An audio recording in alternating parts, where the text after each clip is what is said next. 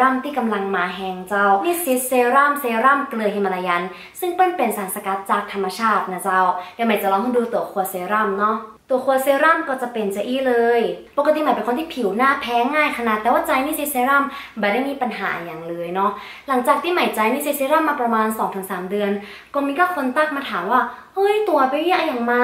นี่อย่างผิวหน้าดูสวยขึ้น ดูสุขภาพดีขึ้นเนาะ ฝ้ากระจุดด่างดำริ้วรอยตีนกาหายไปในมดทำไมผิวหน้าดูกระชับขึ้นเนาะ ผิวหน้าดูเรียบเรียนขึ้น หน้าละอ่อนขนาด เปิ้ลก็เลยบอกเปิ้ลว่าตัว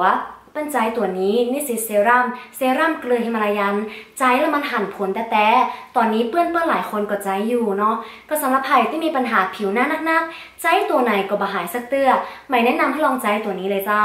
นี่สิเซรั่มเซรั่มเกลือฮิมาลายัน